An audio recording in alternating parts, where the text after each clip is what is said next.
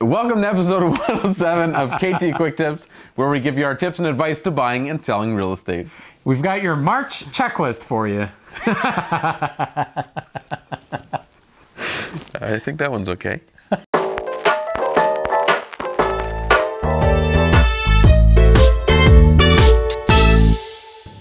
It's that time of year when your clocks spring forward, which means that it's also a great time to tackle some of those often neglected tasks around your house. So start by checking your smoke and CO2 detectors to ensure they're working and replace batteries if they have any.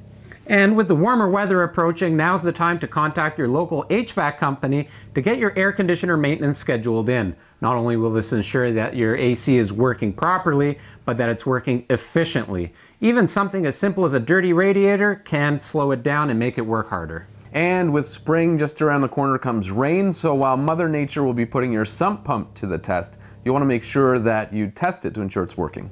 If you need a referral to somebody that can help you, or if you have any questions, send us an email or give us a call. And don't forget to like us on Facebook, follow us on Instagram, and if you like these videos, make sure you subscribe so you don't miss out on upcoming episodes. Your tips and advice to buying and selling real estate. I don't feel like we're positioned. Uh, you want to be closer? Yeah, be closer. Welcome.